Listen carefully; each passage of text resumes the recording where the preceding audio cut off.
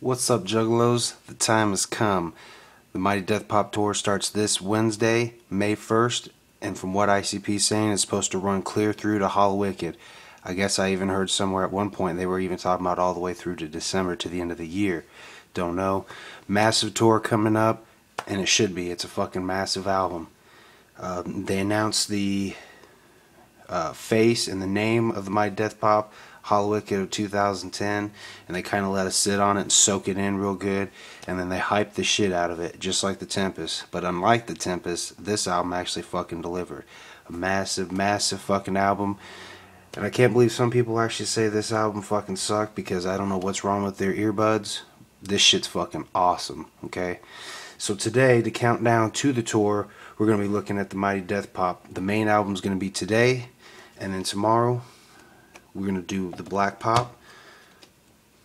Tuesday, Red Pop. And then Wednesday, the day of the tour, you got White Pop. Because I'm hype as fuck for this tour. Unfortunately, usually when ICP comes to Indiana, they usually come towards Hallowicked. Of course, they completely missed us last year. You got me, they come almost every year, usually the day before or two days before Hallowicked, so I don't know what happened with that. So anyway, I've got at least, what, four months before I could even expect to possibly see these guys in concert. But until then, I'm fucking hype as fuck, and I want to do a review in anticipation for it. So, let's go ahead today. We're jumping into the main album itself. Go ahead and get these little guys out of the way.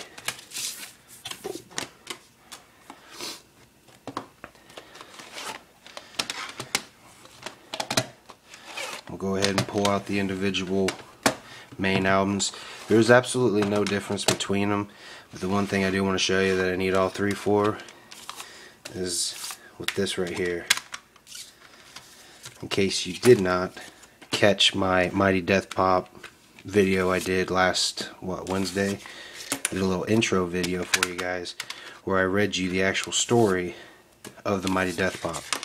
Now they didn't get that worked in here, and I know Violent J said something about he uh, they ran out of time or something like that.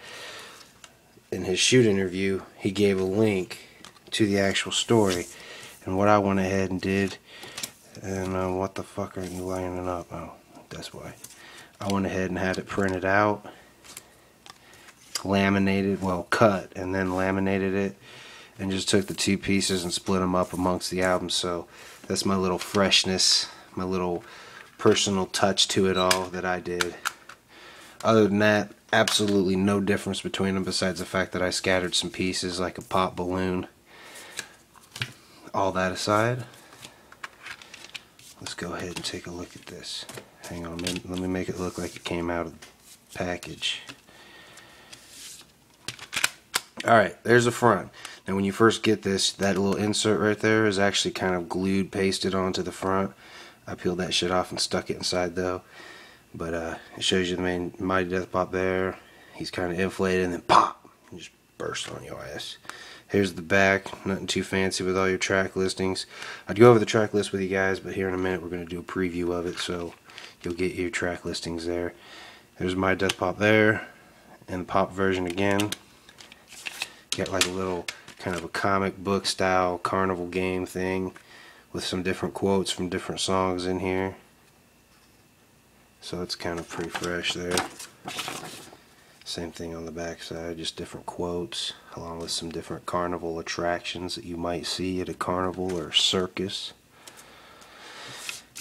And then this little insert where I stuck my little individual pieces of the intro. You got the pop version there inside just says my death pop and it's got all your thank yous and the dedicated to the butterfly and then on the back says mighty death pop and it's got all the credits to it which is why I kind of stuck this in here because you know typically you would see this or that and think there'd be a story to it and that's why I was like you know insert it right in there just slide it in there real beautifully that's not beautifully that's sticking out there's gonna be a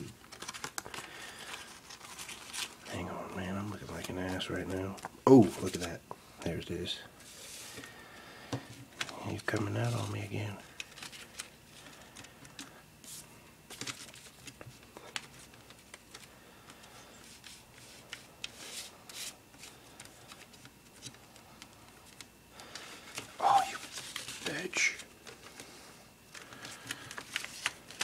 Fighting with me. Alright. Ignore that ever just happened.